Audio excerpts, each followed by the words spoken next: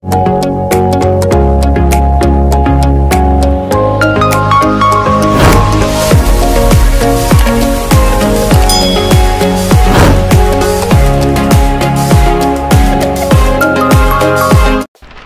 araw mga Kiotic. So for today's vlog guys, ah um, it's all about uh, life vlog.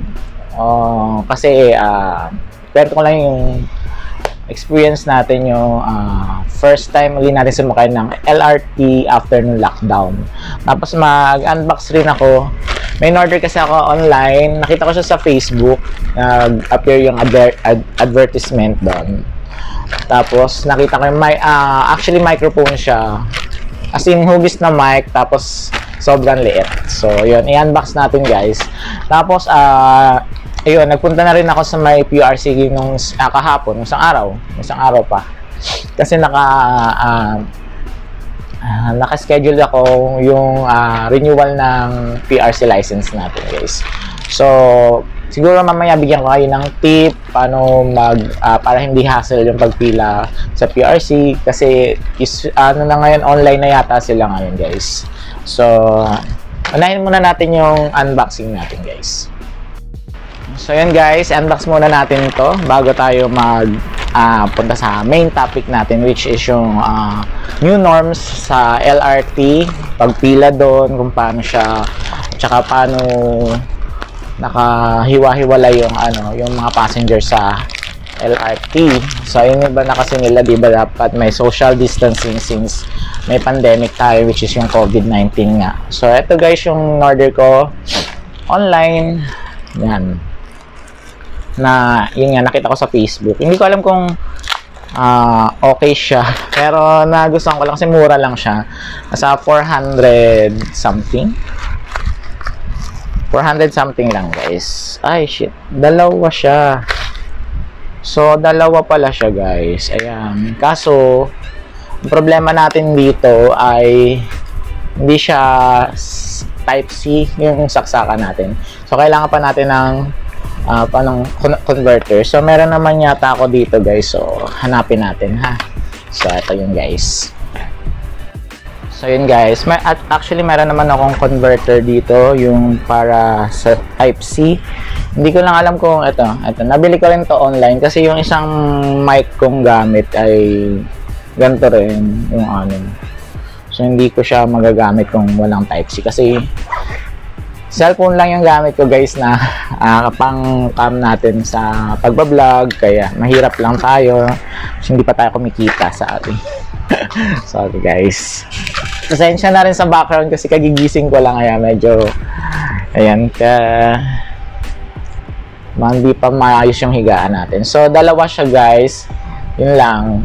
Maganda siya kasi dalawa pero hindi ko alam kung okay yung quality niya. So isasaksa ko siya dyan guys sa may cellphone ko. Tingnan natin yung outcome kung maganda. So pakinggan nyo tong sound na to tapos yung later i iba na. Iba na yung gamit kong mic. So ito kasi yung parang lapel yung gamit ko ngayon. So ito parang microphone talaga siya. Siya guys ayan microphone. Sobrang liit. Tapos meron siyang ah, hindi siya mahaba kaya kailangan nating hawak-hawak lang to. Tapos meron siyang headset.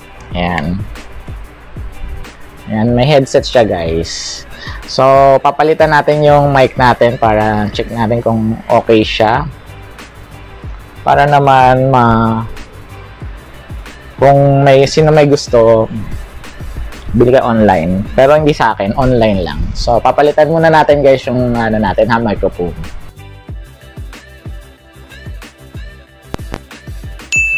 guys, naka-plug na yung ating bagong microphone with built-in headset pa. So, naririnig ko ang sarili ko. Hindi ko lang alam kung okay yung sound niya. So, okay ba siya? Hello? Tsaka maliit yung wire niya kaya parang hindi siya advisable lalo pag mabablog kayo kasi kailangan natin medyo malayo yung camera. So, ito, pang malapitan lang siya. Ayan. Pero, nakakatuwa kasi dalawa yung ano niya, dalawa, dalawa siya. Sa so, talagang 400 guys, dalawa siya. So, tingnan muna natin yung sounds guys. Baka mamaya hindi pala nagre uh, hindi pala Mama- baka mamaya hindi pala siya, wala palang voice na lumalabas, post record ako ng record. So, i-check ko muna guys, ha? So, yun guys. So, eto muna gamitin natin guys. Parang may naririnig naman akong sounds nung pinakinggan ko. Ah, hindi ko lang alam kung pagka yung sa vlog na natin. Kasi di ba pag walang microphone, mahina yung boses pag sa vlog. So, check natin to guys ha. Eto muna yung gamitin natin. ang liit-liit ng mic. Ang cute-cute. So, ang pangalan niya guys, ano nga to? Ito siya eh. Wala siyang name. Ah, pero Ayan, may mga ganito siya guys. So, ayan. Pwede siyang gamitin sa Wishing. Ah, Wishing lang. Wishing lang alam ko eh. Pa, ayan mga icons dyan guys. Kung alam nyo to, ayan. Pwede daw siyang gamitin pang kanta-kanta. Eh, since hindi naman ako singer. So, dito na lang. Nakalagay dito, exquisite build. Youth passion color. Kasi may mga ah, may mga color, apat na color siya dito. Silver, tapos may pink, green, And, yan. Parang rose gold yung isa. So, we have four colors you can choose. Ayun nga. Apply all intelligent tone and flat PC. Portable mini design, open news conference. Let's go. May K. Hindi ko alam yung ano yung K. Basta yung wheezing lang alam ko dito. So, yun guys. Yan, so far okay naman siya. Hindi ko alam talaga kung pag dinownload na, ay upload na natin yung video natin kung malakas rin siya. So lalakasan ko na lang yung boses ko guys. So yun nga. Uh, since nag-lockdown nga guys, 'di ba matagal na stop yung uh, mga ano natin, trans transpo like uh, jeepneys, uh, LRT, mga bus, yun. So since may service naman ako, yun nga, yeah, Wow, yabang. Since, uh, yun nga, may nagsiservice sa akin na friend ko, papasok sa work. Ah, uh, yun, yun yung since mula nung, ay since, since na mula pa. since nag-lockdown, yun na yung service ko sa work, post pauwi sa bahay. So, hindi ko na, ano, mag-commute ng mga siguro 3 months. Tagal rin yan, guys. From March uh, 15 eh yun, may pumapasok tayo kasi uh, frontliner tayo, hindi naman tayo pwedeng lumiban sa work natin since ang problema natin ay sa COVID. So, sa hospital tayo nag-work, eh, pwedeng sa yung hospital, di ba? Kasi maraming ang pasyente. So, yun guys, ah, uh, uh, Nung isang araw nga, nag uh, pahatid lang ako sa my LRT station tapos try ko mag-commute. So, nakikita natin pagpasok, syempre, ni-scan pa rin yung temperature kung may lagnat. Tapos, syempre, pagka medyo mataas, hindi nila muna papapasukin o baka lang kasi sa init ng panahon, ganun. So, pwede ka magstay muna, pa, ano ka muna, palamig muna, tingnan nila kung, tapos i-check nila after ilang minuto ulit. So, yung pag-akyat sa may, ano guys, uh, sa may platform, papuntang LRT, doon na mismo sa may, ano, pag nag-wait ka, waiting ka ng, uh, while waiting ng uh, train, so, may mga cross doon. Actually pa, 'di ba, usually nandun tayo sa may harapan, nakaharang.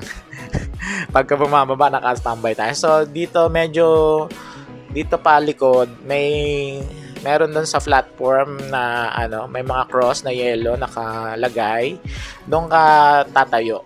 So, bawat isa yon parang hindi kasi nila papapasukin pagka hindi pa napupuno yung uh, buong cross na yon Yung lahat na may cross, kailangan may tao. So, syempre pipila muna yung pagka napuno na yung cross, lahat ng tao na may cross doon sa may, pinagtatayuan nila, uh, hindi mo na sila may papapasok ng tao. So, tsaka lang sila magpapapasok pag uh, may uh, train na na dumating tapos nakasakay na yung mga nandun sa cross. Tapos sa loob naman ng LRT guys, meron siyang, uh, di ba yung upuan, normal na upuan. So meron siyang mga plastic na harang para hindi kayo magka, ano ng, baka may naubo, ganyan, hatching, ganyan. So, may parang harang-harang siyang ganyan. So, papakita ko naman yung mga na-videohan ko, guys. Actually, nakakahiya kasi mag-video. Although, nakamas naman rin lahat ng mga tao syempre, nakakahiya pa rin sabihin, binibideo sila. So, yun lang naman guys, uh, maka, nakakahiya rin minsan. Tapos, doon sa, yung mga nakatayo naman, halimbawa, napuno na yung mga chair, ng mga tao, pwede namang tumayo kaso merong mga certain area rin lang na may mga naka-cross din which is doon ka rin pwedeng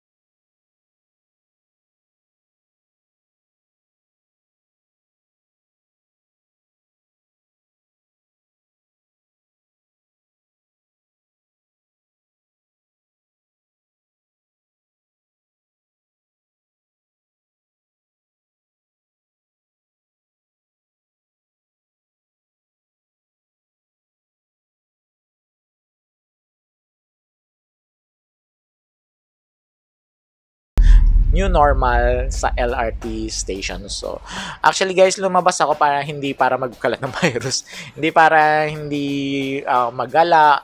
Actually, kailangan ko lang pumunta kasi nakaschedule ako for renewal ng akin license. So, uh, yun nga guys, yung ibibigay kong tips sa inyo paano mag-online para hindi hassle yung uh, pagkuha nyo ng uh, license. Kung June na yung uh, uh, license nyo for uh, expired na this year, ganyan. So, yan guys, ibibigay ko sa inyo ang tip.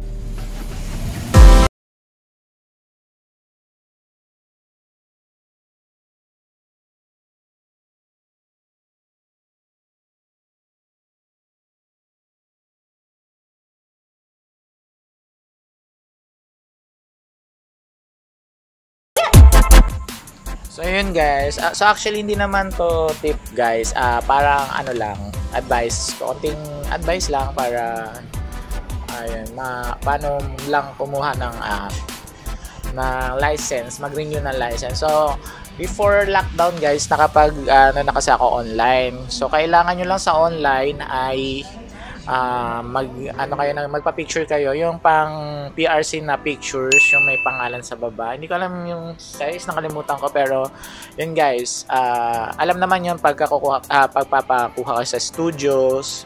So alam naman nila kung ano sabihin nilang PRC pang PRC na picture So, pagkatapos, hingi kayo sa kanya ng copy, pa-send nyo via, via Bluetooth or kung ano mang pwedeng pag-sendan sa cellphone nyo. Kasi kailangan nyo yon Pag nag-online kayo, i-upload nyo yon doon sa may uh, information na uh, parang information na sheet na pipil upan nyo doon sa uh, www.prc.gov.ph .gov.ph.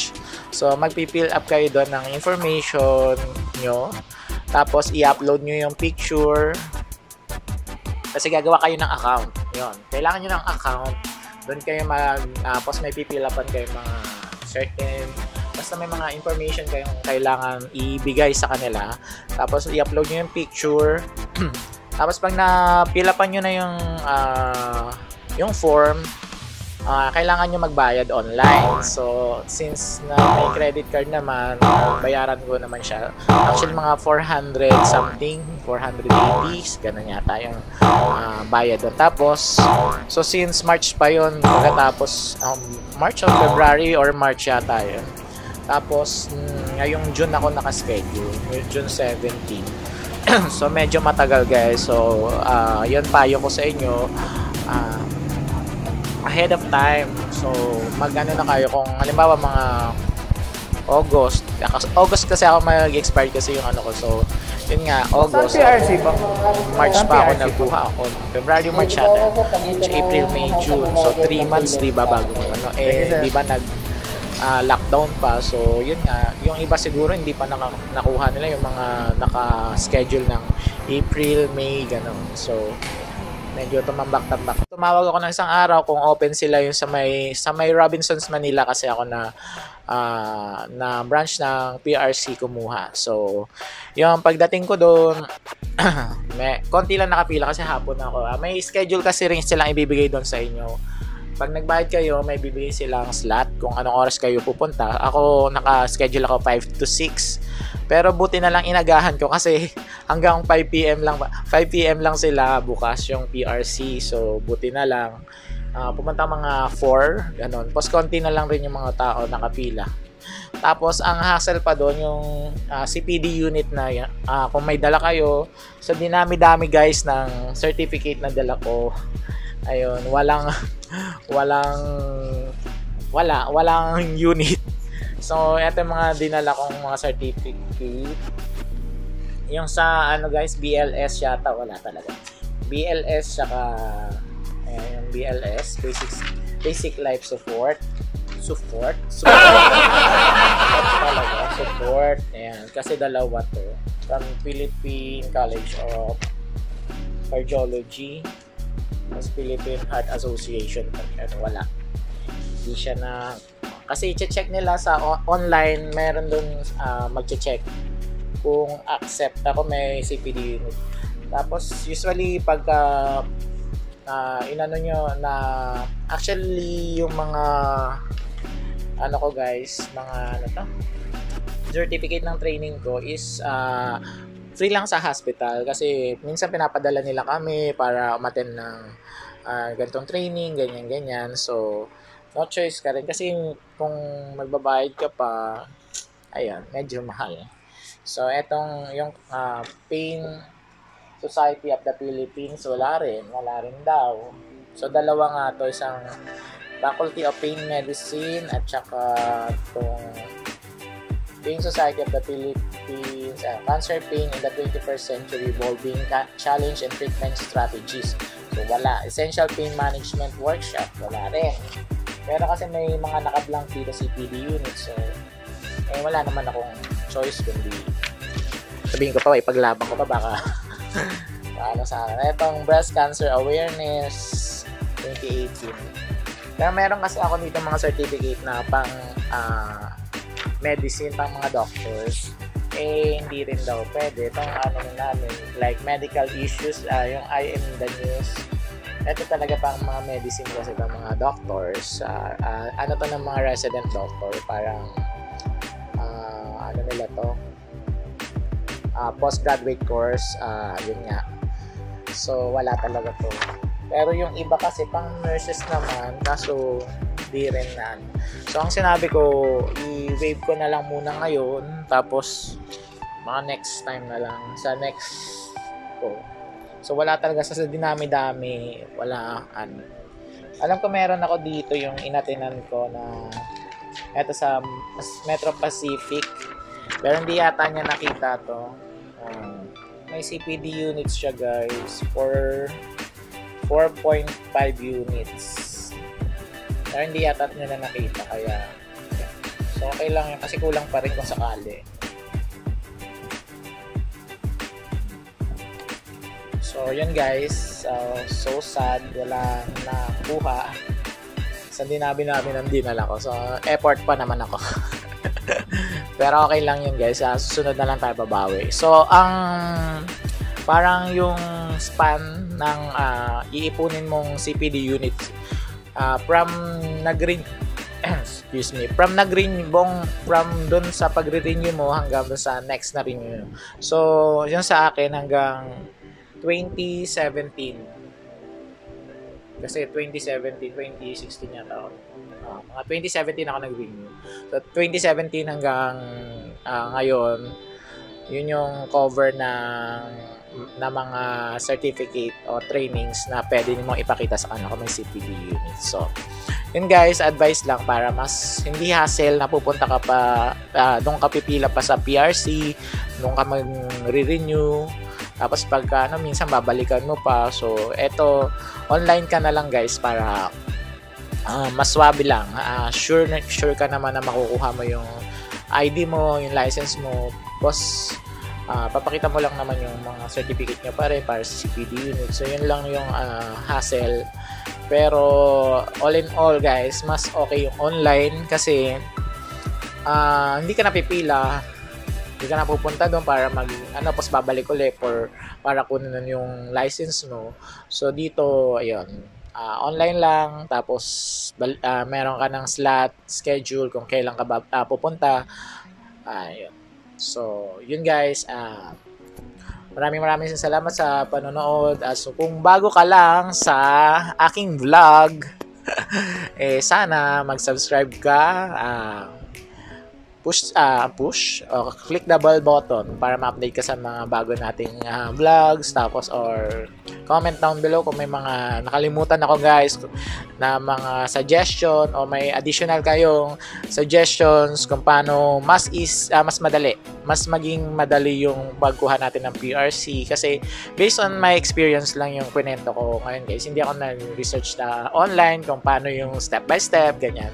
So yun guys. Kung may mali akong nasabi itama pwede naman i-correct guys. Uh, uh, pwede naman tayo mag ano dyan para mabasa rin ng mga nanonood natin yung mga comments. So yun lang guys. At saka paki like lang kung nagustuhan nyo yung vlog natin today or thumbs down kung ayaw nyo naman guys. So maraming maraming salamat and uh, God bless and keep safe guys. Thank you.